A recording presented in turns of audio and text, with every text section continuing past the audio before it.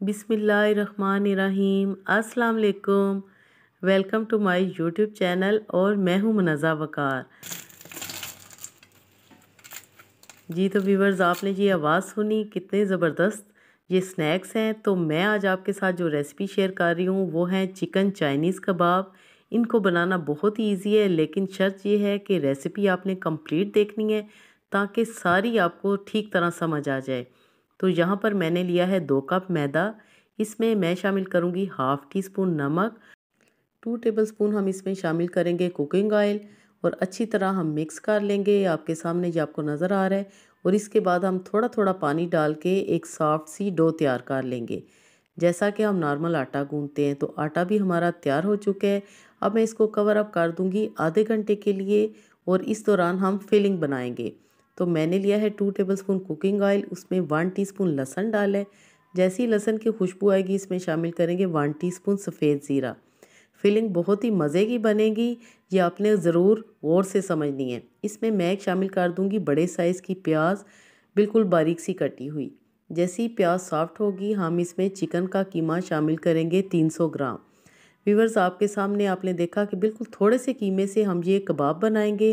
अब मैं इसमें शामिल करूँगी वन टीस्पून नमक थोड़ा सा डालेंगे हल्दी पाउडर, कुटी हुई लाल मिर्चें डालेंगे वन टीस्पून और इसमें मैं काली मिर्चें भी शामिल करूँगी हाफ़ टी स्पून क्योंकि चाइनीज़ कबाब है, इसलिए सोया सास हम डालेंगे two tablespoon chilli sauce डालेंगे वन टेबल स्पून सारी चीज़ें अच्छी तरह मिक्स करने के बाद हम कीमे को अच्छी तरह भून लेंगे।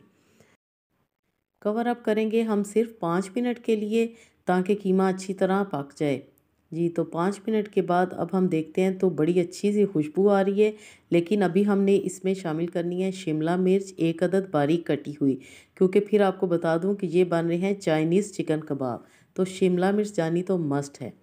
शिमला मिर्च डालने के बाद मैं इसमें डालूँगी ज़्यादा सारा हरा धनिया और एक आध हरी मिर्च भी मैं इसमें शामिल करके मिक्स करूँगी और फ्लेम को ऑफ़ कर देंगे। फिलिंग को मैं निकाल लूँगी एक बाउल में ताकि ये थोड़ी ठंडी हो जाए।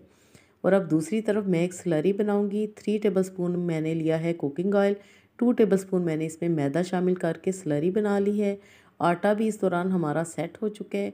अब हम इसके इक्वल साइज़ के एक जैसे पेड़े बनाएँगे। छोटे छोटे आपने पेड़े बनाने हैं। मैं आपको दिखाती हूँ कि कितना साइज़ आपको चाहिए और एक ही साइज़ के आपने पेड़े रखने हैं ताकि सारे कबाब हमारे इक्वल बने।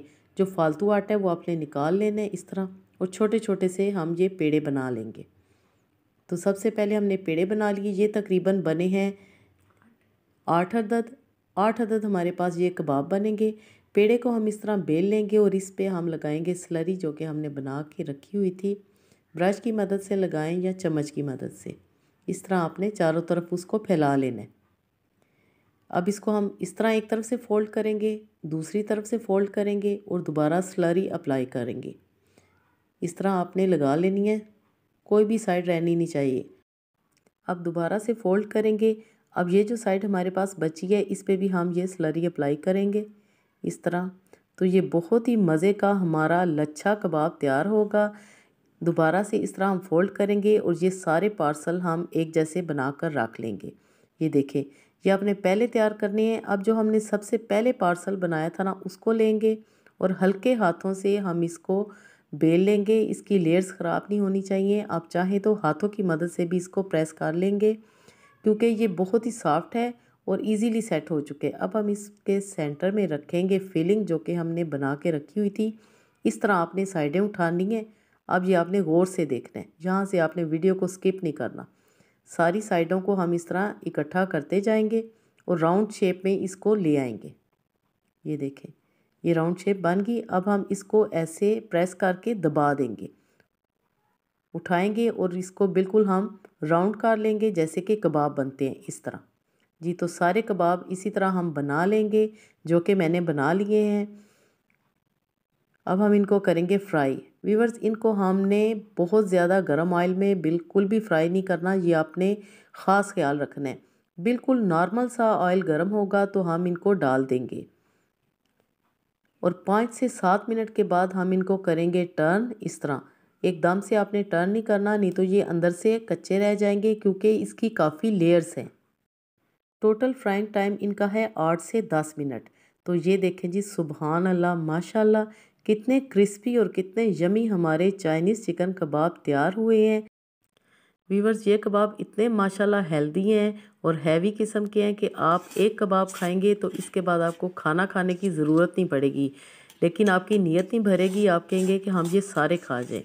माशाल्लाह बहुत ही ज़बरदस्त बनी है। या आप इसकी साउंड चेक करें। जी तो वीवर्स आपने लाइक ज़रूर करना है। रोज़ाना आपके लिए मैं नई से नई रेसिपी अपलोड करती हूँ। लाइक ज़रूर प्लीज़ किया करें और अच्छा सा कमेंट भी कर दिया करें। आपके कमेंट्स पढ़ के बहुत ज़्यादा खुशी होती है। केचप के साथ और ग्रीन चटनी के साथ हम करेंगे सर्व। वीवर्स अगर आपको रेसिपी से रिलेटेड कोई भी क्वेश्चन पूछना है या अगर आपको समझ नहीं आई तो आप मेरे से पूछ सकते हैं। कमेंट करके इंशाल्लाह मैं ज़रूर रिप्लाई करूँगी। इस दुआ के साथ आपसे इजाज़त चाहूँगी कि अल्लाह पाक हम सब का दस्तरखान हमेशा मसीह रखे। खुश रहें, खुश रखें, अपना बहुत सारा ख्याल रखिएगा। Okay then, Allah Hafiz.